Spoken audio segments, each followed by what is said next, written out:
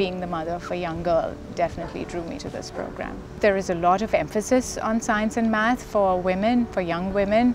I wanted her to get that exposure. She's been to many residential camps before and this is her favorite and she wants to come back. So that says a lot to me.